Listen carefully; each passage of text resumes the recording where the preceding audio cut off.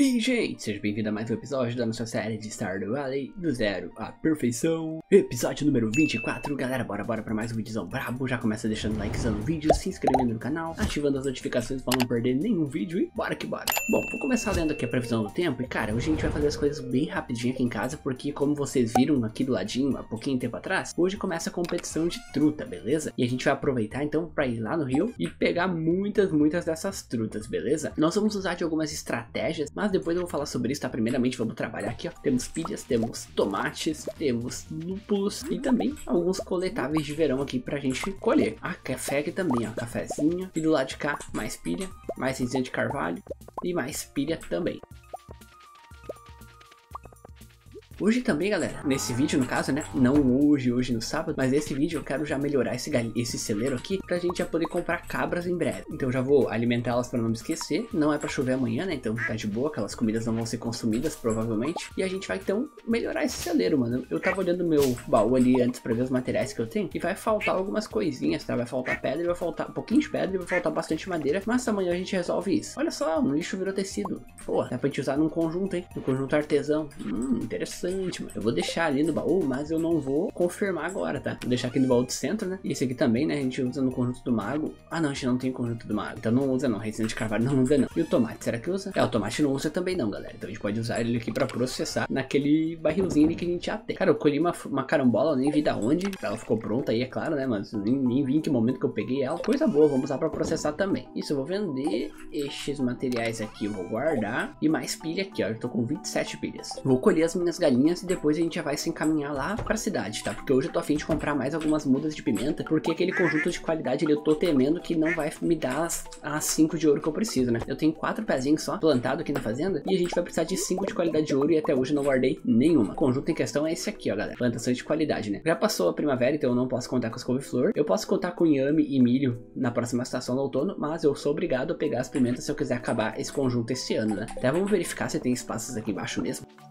Ó, eu tenho aqui um espacinho de 8, que eu já tenho um aspersor que eu ganhei no centro, né? Então nem precisaria fazer um novo aspersor. E aqui, eu lembro que liberou umas vagas, ó. Aqui já tá até com fertilizante, mano. Ah, mas isso aqui é solo foliar. Não me interessa muito. Solo foliar não interessa muito, né? Enfim, cara, eu posso arrancar esse daqui de baixo e plantar aqui também. Eu vou comprar então 16 pezinhos de pimenta ali no PR e vou plantar aqui todos com fertilizante. Ah, e ó, aquela famosa missão do Demetrius do melão, eu vou aceitar porque eu sou obrigado a aceitar, mas eu não tenho melão guardado, né, mano? Puxa vida, eu acho que eu vendi todos eles. Ou não, não vendi não. tá aqui, ó. Agora, então, gente, eu vou deixar minhas ferramentas aqui porque eu vou ter que voltar aqui em casa. Eu já tenho ouriço do mar, eu já tenho coral. Vou fazer uma parada aqui que vocês vão entender já já. Pegar aqui, ó, três barras de ferro também. E vocês já entenderam o que eu vou fazer, né, galera? Ó, máquina de iscas, a gente vai usar isso aqui lá na competição da truta, beleza? Também eu quero pegar minha varinha de pesca, eu acho que eu já tô com uma boa aqui, né? Ó, 35 iscas das boas também. Será que eu tenho isca aqui nesse baú? Não, mas eu tenho prato do mar que eu vou querer usar também. Deixa eu ver aqui, ó. Carne de inseto, temos 18. Musgo, será que a gente vai ter alguma coisa aqui? Vai, provavelmente vai sim, né? Musgo, musgo, musgo. Aqui, ó, bastante musgo. Eu vou fazer tudo isso aqui em isca. E agora eu vou transformar em isca de luxo. Ô, oh, cara, que maravilha, hein? A gente tá com 125 iscas dessas. Vamos também fazer boia sonar. Caramba, hein? Que produção. Fazer duas pra usar hoje. Eu já vou colocar uma aqui na minha vara. E o resto, se a gente precisar, a gente faz amanhã. Agora, deixa eu guardar essas paradas de volta em seus devidos lugares, porque tá uma bagunça, né? Será que eu tenho totem de teletransporte pra praia? Não tenho, olha aí, perfeito. A gente já vai lá na praia. Ah não, mas a gente não precisa ir na praia, pensando bem, né? Eu já tenho os ouriços aqui, eu já coletei as coisas tudo, já fiz a máquina. Só vamos pensar se eu não tô esquecendo de nada agora, gente, ó. Vamos ver. Não. Tá, beleza. Então, eu vou pegar esse totem aqui na mão e a gente vai lá na cidade agora. Então, o primeiro lugar que a gente vai estar tá passando vai ser no PR, pra comprar sementinhas de pimenta que eu falei. Depois a gente vai ter que subir lá no Demetrius pra entregar o melão pra ele. E a gente volta pra casa de totem pra plantar as pimentinhas, tá? Eu não vi qual era a previsão dos espíritos hoje. Espero que eles não estejam muito chateados com a gente, porque senão as trutas aparecem. As trutas até aparecem, porém não vem os tickets, né? E eu já vou explicar para vocês como é que funciona esse festival. Aí, ó, galera. Peguei, peguei até duas a mais sem querer querendo. Poxa vida. E ó o homem aqui, ó. Olá, bom dia. Zero de amizade, caramba. Pega aqui, ó. Vou ficar com um pouquinho de amizade contigo. Um de amizade. E a gente ganhou de recompensa 550 ouros. Cara, a gente tem duas missões pendentes aqui. Eu tinha que levar um peixe sol pra Marne. Caso eu pesque lá na competição, eu já entrego pra ela. E também três ciobas, que eu peguei a missão agora pra ganhar um ticket dourado. Porém, ciobas somente de chuva, né? Peguei essa missão à toa. Bora voltar pra casa rapidinho com esse totem. Cara, depois eu vou explicar pra vocês brevemente como é que funciona né, a competição da truta. Provavelmente vocês já sabem, já não é tão, tão novidade assim.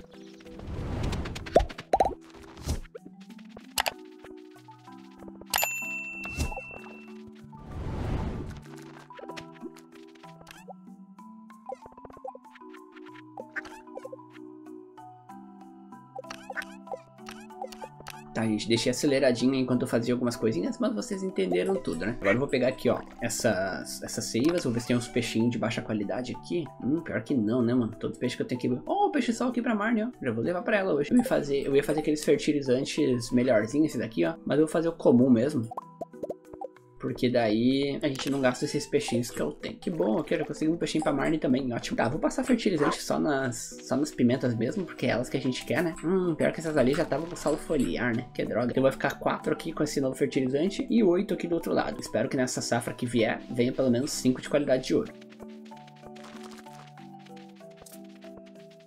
Show, agora sim galera, vamos ali pra floresta que é onde acontece a, o Festival da Truta, né? Pra quem não sabe, ele acontece bem aqui, pouco à frente da casa da Marne. Mas antes de começar de fato a pescaria, eu vou passar aqui na casa da Marne pra entregar esse peixe pra ela. Olá senhora, certinho, certinho. Aqui ó, pega aqui, peixe sol, ganhamos. Oh, vale um bilhete de prêmio também. Boa. Maravilha, mano. Então, ó, segundo bilhete de prêmio alcançado. A partir de amanhã já começa a cair as, aquelas caixas misteriosas do céu, cara. É sempre no 50 dia ou quando a gente já consegue, né, de alguma maneira, o segundo ticket dourado. Aí, ó, bom demais. Nessa noite, provavelmente o senhor Ki vai passar voando aí, largando caixinhas. E a competição de truta é essa aqui, ó, galera. Acontece aqui, tem esses NPCs novos que só tem frases prontas, né?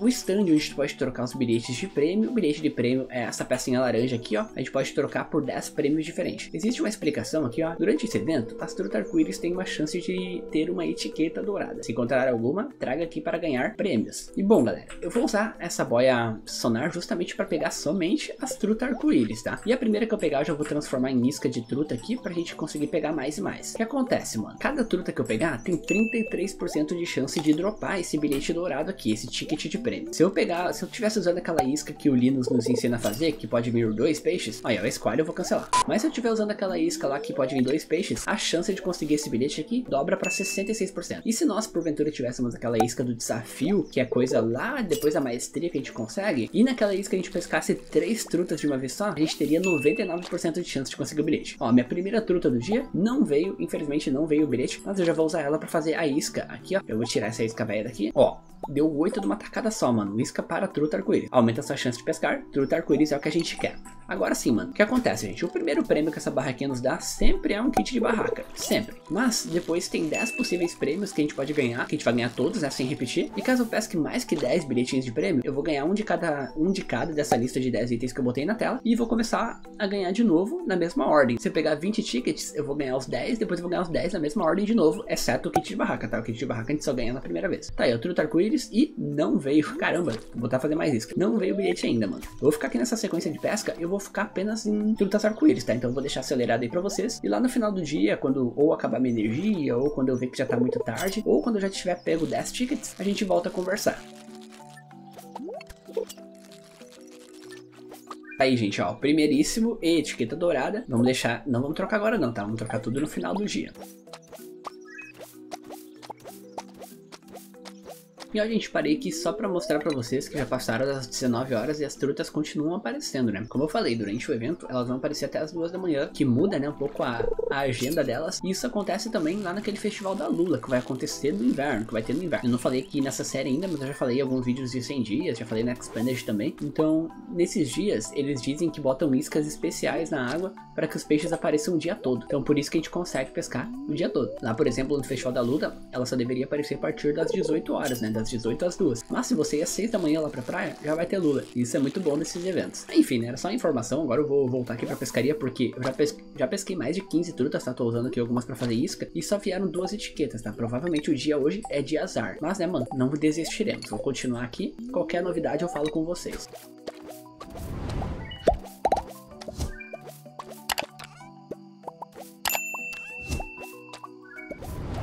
Bom, galera, meia-noite e meia já, eu já vou voltar pra casa. E, mano, vocês podem ver que a gente pegou mais de 20 trutas, né? Eu usei algumas pra fazer mais iscas. E vieram apenas 7 etiquetas douradas. Vieram alguns baúzinhos também, né? Que a gente não pode reclamar. Mas se a gente for falar de bilhete de etiqueta dourada, foi péssimo dia, tá? Deve ser provavelmente um dia de azar. Eu poderia muito bem trocar, que até vou trocar um bilhete só, porque o primeiro sempre vai vir kit de barracas. Né? Eu poderia dormir aqui muito bem e amanhã de manhã começar já o dia pescando. Mas dois motivos para não fazer isso. Primeiro, eu não trouxe mais boia sonar, então amanhã eu perderia tempo com outros peixes, então não compensa. Segundo, eu abandonaria a minha fazenda e provavelmente eu chegaria muito tarde em casa, não dando tempo de coletar os animais, não dando tempo de fazer tudo que eu quero e provavelmente deixando uma bagunça absurda lá pro dia 22. Então é melhor eu ir para casa e dormir, depois eu faço tudo que eu tenho para fazer na fazenda, volto para cá com tranquilidade e a gente continua esse festival. Então amanhã, como já vou ter desde cedo as iscas para truta, a gente vai conseguir chegar aqui bem cedinho também. Não é a melhor maneira de conseguir os itens que, ele, que esse evento nos dá, mas é uma maneira de fazer, né? Um dinheirinho extra aí, conseguir uns itenzinhos a mais. Enfim,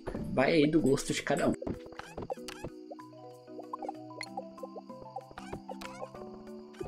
E essas trutas aqui, ó, de qualidade de irídio, eu vou vender, mano. Porque essas quatro aqui de ouro, mais que eu tenho na vara aqui de isca, já é mais que o suficiente pra gente pescar amanhã. Bora pra cama então. Muito boa noite. Boa noite pra você que está me assistindo. E aí, ó, segundo ticket alcançado, caixas misteriosas disponíveis.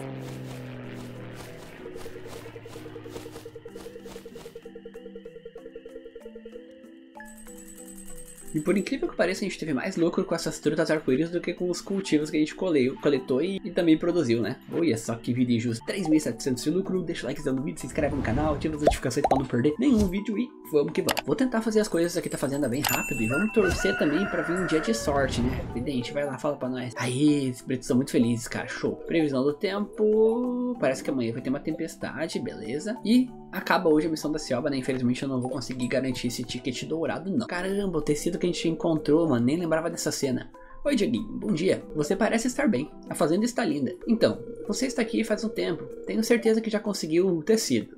Certo? Certo, consegui. Bem, você sabe que dá para usar tecido para costurar vários tipos de roupas? Você só precisa de uma máquina de costura. E eu tenho uma em casa. Fique à vontade para passar lá a qualquer hora. Hum, Agora você pode usar a máquina de costura da Emily. Bom, Emily, tá bom? O que mais quer de mim? Para começar a costurar, você precisará de tecido e um item secundário. Experimente e veja os estilos únicos que dá para fazer. Beleza, galera. Esse é o save das roupinhas, né?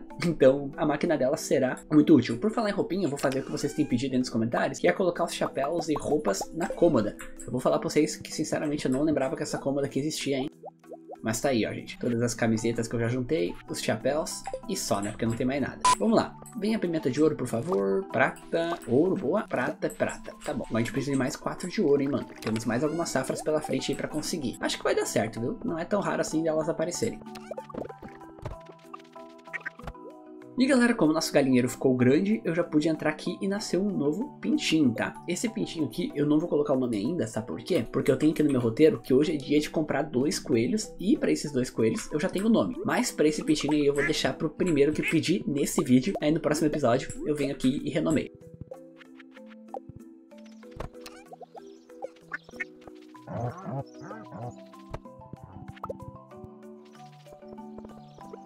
Show! Agora, gente, a gente vai primeiramente pegar o que tiver de materiais aqui em casa. Pedras eu vou ter quase o suficiente, madeiras eu tenho bem pouco, na verdade, menos da metade. E a gente vai lá na Robin, né, pra construir a primeira reforma do nosso celeiro, como eu já falei pra vocês mais cedo.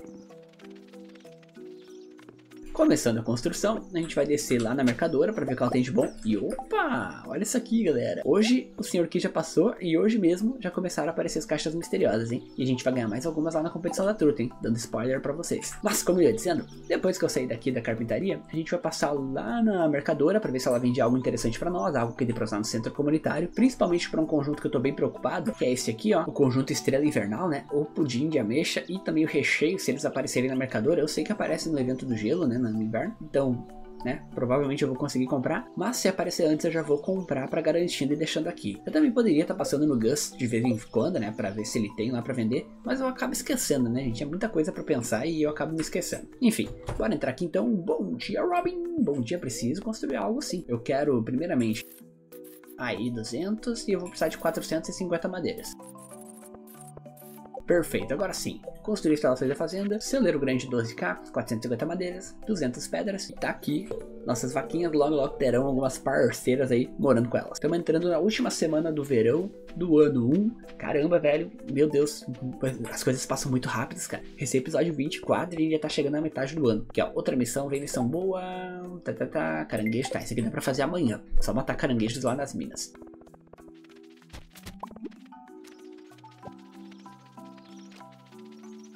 Aí, a mercadora, vamos ver o que temos de bom aqui, ó. Cara, flor, miçanga, picão verde. Ó, picão verde eu poderia comprar já pra completar um conjunto, né? Ele tá baratinho mesmo. Damasco, será que a gente já pegou algum damasco na caverna? A gente vai usar pro conjunto, né? Vou pegar. Esse coquetel de camarão dá mais um de sorte. Por 10 minutos eu vou comprar pra usar hoje. E a flor miçanga, a flor miçanga eu não vou usar pra nada. Bom, três aquisições, a gente vai usar esse aqui no conjunto de artesão. É, eu não doei ainda, ó, então quer dizer que eu não peguei. Mais um. Picão verde, a gente vai completar um conjunto lá de peixes do rio. Não, de peixes de pesca noturna. Bom que a gente não precisa esperar a chuva do outono para pescar ele, agora que a gente já resolveu. Show, galera. Dispensa, né, apresentações agora o festival, vocês já sabem como funciona. Eu vou continuar na minha pescaria aqui, acelerada, é claro. Vou comer esse coquetel de camarão para ter mais um de sorte, além do dia ser muito bom. E, mano, eu esqueci de trazer boia sonar, então vou ter que estar tá pescando peixes quaisquer que vierem. Não tem problema, né, porque com essas iscas aqui, a maioria dos peixes que virão vão ser truta arco-íris. Então, né, vou nessa, falo com vocês daqui a pouco.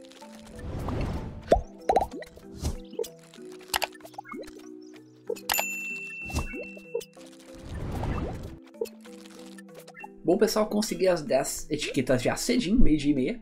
A dia de sorte faz toda a diferença. E eu ia ficar mais tempo aqui, mas não vou não, mano. Vocês entenderam o festival, né? Não precisa ficar aqui mostrando a mesma coisa toda hora pra vocês. O que, que me sobrou aqui em mãos, ó? Foram 39 iscas dessas de truta que eu posso usar talvez no festival do ano que vem. As trutas que eu peguei que eu vou vender, né? Esse item que eu ganhei no ponto de artefato, esse também. E agora, galera, vocês vão ver, ó. Tô com caixas misteriosas aqui na mão. Eu vou deixar na minha mão ainda porque provavelmente eu vou ganhar mais de prêmio, né? Nessa lista de prêmios aqui a gente pode ganhar. Se vocês verem ali a terceira opçãozinha é caixa misteriosa. Vamos lá. Esses 10 itens que estão aí vão vir numa ordem aleatória, tá, galera? Ó, por exemplo, veio primeiro o Omni Né? E se eu abrir outra agora, ó, vai vir um chapéu bucket. Se eu abrir essas 10 etiquetas e ganhasse mais algumas, de novo ia começar o mini geodo, chapéu bucket, tanana, tarara, na mesma ordem, tá? Sempre os mesmos itens se repetem.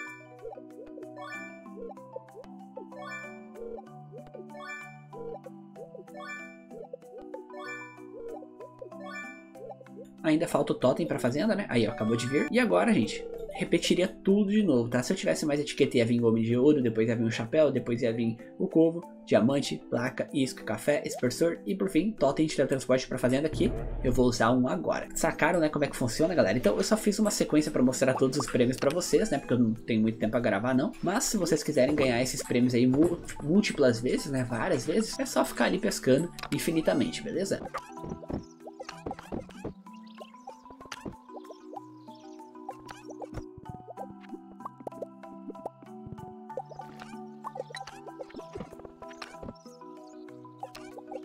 Fechou, galera. Terminei de arrumar tudo aqui. A gente já cuidou dos animais, a gente já cuidou das plantações. Amanhã, provavelmente, essa, essa minha plantação aqui vai dar outra safra, né? Esses, esses meus mirtilos. A gente vai ter uma boa grana. Eu tô pensando em reformar o ônibus, tá? Vou somar quanto que vai dar de lucro, porque daí amanhã tem, vai ter uma safra e no dia 26 vai ter outra. Então eu vou ver quanto que dá cada safra e vou pensar né, se compensa, porque a gente tem que pensar ainda nas sementes do outono. Se der, a gente vai fazer a reforma do ônibus já ainda nessa estação. Se der, é claro, né? Se for viável. Aí então no próximo vídeo a gente vai dar uma olhada se a gente já já consegue acessar o deserto, né? E fazer outras coisas por lá. Tudo vai depender do nosso lucro. Bom, tava aqui antes passando um sufoco para guardar essas coisas, galera. Eu tô pensando em organizar melhor esse baú. Até essas paradas aqui que eu já usei no centro comunitário.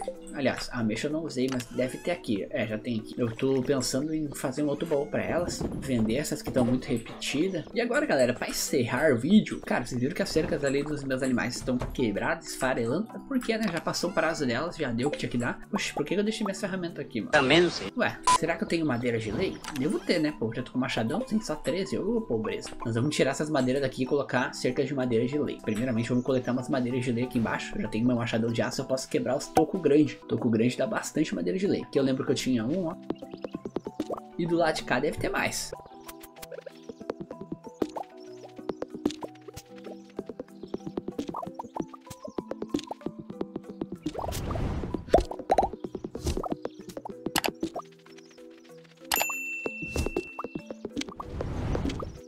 Beleza, agora sim, ó, gente. Vou tirar essas madeiras daqui. Também vou tirar essa cerca daqui. E ó, a gente vai puxar uma cerca de lei, de madeira de lei, até aqui perto da estrada. Daí os animais vão ter um pouquinho mais de espaço para caminhar. Meu patinho bugou ali, coitado, mas vai ficar bugado, mano. não vou tirar a cerca só pra ele voltar pra dentro do galinheiro, não. Não cheguei a contar quantas cercas eu vou precisar, mas vou fazer aqui umas 30 por enquanto. Fazer um outro portão também, porque eu quero botar dois dessa vez, né? Portãozinho grande, ó.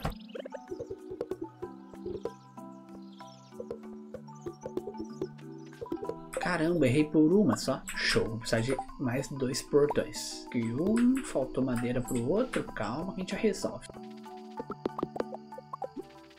Pronto, agora sim, galera. Tem uma saída no sul, uma saída na direita. E, e o espaço dos animais está um pouquinho maior. Eu poderia até expandir até aqui, né? Mas não, no layout que a nossa inscrita fez, é só até aqui mesmo. Tem um espacinho aqui para os patos nadarem. Tá ótimo, perfeito, mano. É pra ser assim mesmo. Mas por enquanto é isso, galera. Muito obrigado a todos que estiveram comigo até o final. Espero que vocês tenham gostado. Se gostaram, deixa o likezão, se inscreve no canal, ativa as notificações para não perder nenhum vídeo. Lembre-se também de entrar na nossa comunidade do Discord, caso tu tenha mais de 13 anos. E também, se tu puder e tiver condições, torne-se membro do canal. Temos membros a partir de 2 reais e você me ajuda muito se tornando membro. Lembrando, galera, que eu não fiz uma coisa que eu prometi nesse vídeo, que era colocar os coelhinhos novos ali no galinheiro, mas eu tenho um propósito para isso, tá? No próximo vídeo aí eu explico para vocês. Da minha parte é isso, eu vejo vocês no próximo vídeo e falou!